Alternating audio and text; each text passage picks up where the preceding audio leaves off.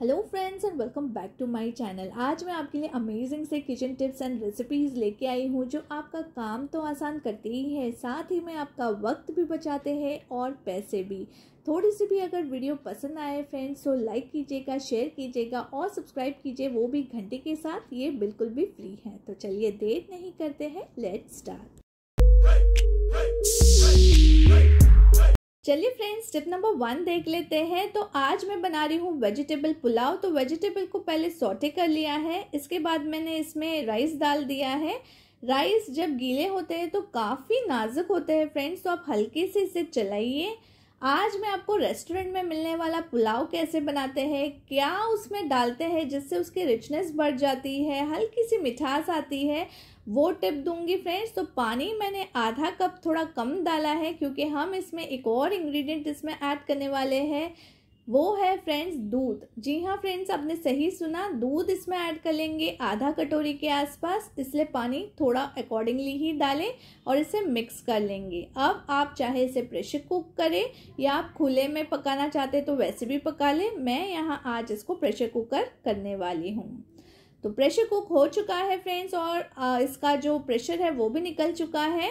ये देखिए परफेक्ट हमारे जो राइस है, हमारा जो पुलाव है वो बन के रेडी है।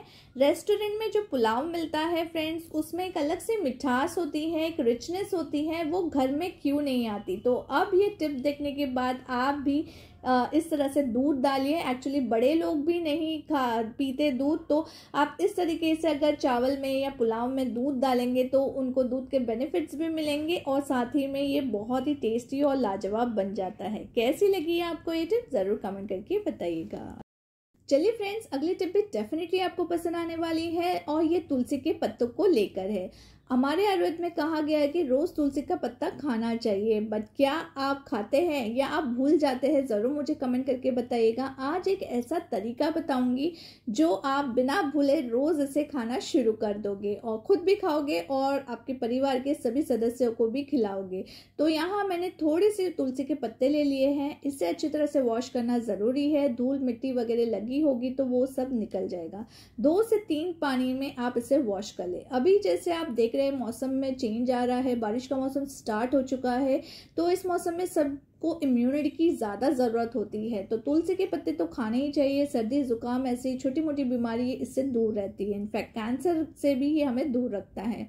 तो इसे कपड़े पे डाल के मैंने सुखा लिया है। अब मैं इसे तवे पे सुखाने वाली हूँ। ये देखिए, ये जो काम है फ्रेंड्स दो से तीन मिनट लगेंगे टोटल आपको और आपका काम खत्म हो जाएगा हफ़्ते दस दिन के लिए। तो मैं इतने ही पत्ते करती हूँ और जब मुझे चाहिए, ये ख़त्म हो गए तो फिर से मैं उतने ही पत्ते वापस कर लेती हूँ। तो थोड़ा थोड़ा करिए बट करिए ज़रूर। तो आपको इसको लो फ्लेम पे अभी दो से तीन मिनट के लिए इस तरह से करना है और कंटिन्यूसली इसे चलाते भी रहे ताकि ये अच्छी तरह से सारी तरीके से ये इसका जो मॉइस्चर है वो ख़त्म हो सके और ये क्रिस्प हो जाए। ये देखिए, इस तरह से सिकुड़ चुके हैं ये। अब इसी टाइम पे मैं क्या करूँगी फ्रेंड्स गैस को ऑफ़ कर लेती हूँ क्योंकि हमें इसे जलाना नहीं है। हमें बस इसका मॉइस्चर ख़त्म करना है और इसे प्लेट में ट्रांसफ़र कर लेती हूँ और इसे अब कम्प्लीटली अब हम ठंडा होने देते हैं। ठंडा हो चुका है फ्रेंड्स और ये देखिए, हाथ में क्रश हो रहा है एकदम आराम से। ये देखिए कितना क्रिस्पी हो चुका है तो इसको मैं इस तरह से हाथ से ही क्रश कर लूँगी। और इसे मैं ऐड करने वाली हूँ फ्रेंड्स चाय के मसाले के डिब्बे में। जी हाँ फ्रेंड्स, आप चाहे तो चाय पत्ती के इसमें भी इसे ऐड कर सकते हैं। अगर आप चाय पीते हैं तो चाय के मसाले के डिब्बे या चाय पत्ती में ऐड कर लीजिए। शुगर में भी ऐड कर सकते हैं फ्रेंड्स। अगर आप दूध पीते हैं तो दूध के पाउडर में भी इसे ऐड कर लीजिए और रोज़ सुबह अब आप बिना भूले तुलसी के पत्ते कंज्यूम कर पाओगे। ये तरीका मुझे तो बेस्ट लगता है। आपको कैसा लगा ज़रूर मुझे कमेंट करके बताइएगा। चलिए फ्रेंड्स अगली टिप डेफिनेटली आपको पसंद आएगी। तो आज एक बची हुई रोटी के साथ एकदम बढ़िया सा डेजर्ट की रेसिपी लेके आई हूँ फ्रेंड्स जी हाँ फ्रेंड्स डेजर्ट मीठा, जो कोई खाना मना नहीं करेगा। इनफैक्ट बच्चे तो ऐसे खाने वाले और दीवाने हो जाने वाले हैं। तो अगड़म तगड़म मिठाइयाँ खाने से अच्छा आप बची हुई रोटी से या फ्रेश रोटी बना के भी आप ये कर सकते हैं बट बची हुई रोटी का ज़्यादा अच्छा लगता है। तो इसको तोड़ लिया है फ्रेंड्स मैंने इस तरह से। और अब मिक्सी जार ले लूँगी और इसका हमें पीस लेना है। पस देते हुए हम इसे पीसेंगे ताकि इसका दर दरा हमें एक पाउडर सा मिल जाए। ये देखिए ये देखिए, एकदम परफेक्ट हमारा जैसे ब्रेड क्रम्स होते हैं ना, उसी तरह से रोटी क्रम्स बन के रेडी है फ्रेंड्स इसे एक बोल में ट्रांसफ़र कर लेती हूँ। ये देखिए, अब चलिए इसकी मिठाई बना रहे हैं तो इंग्रेडिएंट भी ऐसे जो हमारे घर पे अवेलेबल होंगे। तो सबसे पहले मैं इसको चॉकलेट फ्लेवर देना चाहती हूँ तो मैंने यहाँ कोको पाउडर एक चम्मच डाल दिया है। मिल्क पाउडर इसमें ऐड करूँगी। ये मिल्क पाउडर मैंने घर पे ही बनाया है फ्रेंड्स इसकी रेसिपी ज़रूर चेकआउट करिएगा मेरे चैनल पे। तीन चम्मच मैंने इसमें मिल्क पाउडर डाल दिया है तो इसकी रिचनेस बढ़ जाएगी। और कोको पाउडर ऑप्शनल है। अगर चॉकलेटी बनाना चाहते हैं तो आप ऐड कर सकते हैं अदरवाइज़ आप स्किप भी कर सकते हैं। अब इसे हेल्दी बनाने के लिए फ्रेंड्स मिल्क भी आ गया, रोटी भी आ गई, कोको पाउडर फ्लेवर के लिए आ गया। इसको मिठास देने के लिए मैं इसमें ऐड कर रही हूँ गुड़। जी हाँ फ्रेंड्स, हम चीनी ऐड ना करके इसमें गुड़ ऐड कर रहे हैं।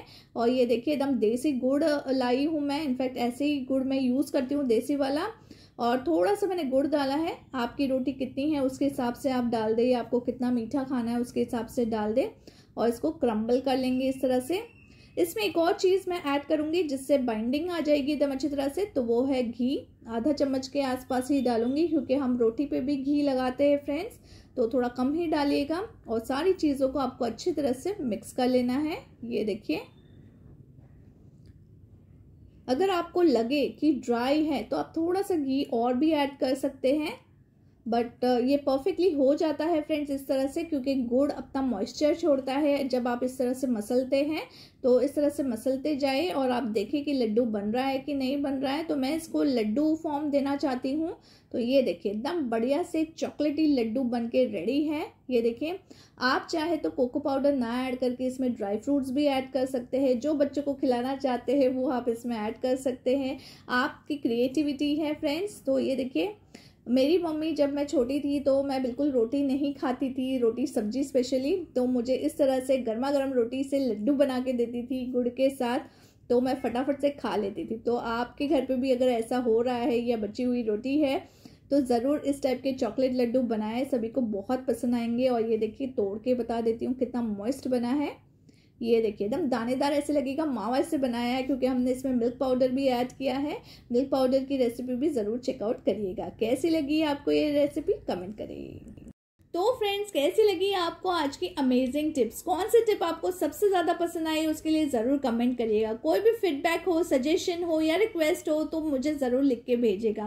फ्रेंड्स बहुत ज़्यादा मेहनत कर रही हूँ तो एक लाइक कर दीजिएगा। अगर आप यहाँ तक वीडियो देख रहे हैं तो डेफिनेटली आपको पसंद आई होगी। इससे मुझे मोटिवेशन मिलता है और भी अच्छे वीडियो बनाने के लिए। शेयर कीजिएगा आपके फ्रेंड्स और फैमिली के साथ, अगर आपको ये वीडियो यूजफुल लगे। सब्सक्राइब कीजिए घंटे के साथ, ताकि सारे वीडियो की नोटिफिकेशन मिल सके। Till then take care. Bye bye.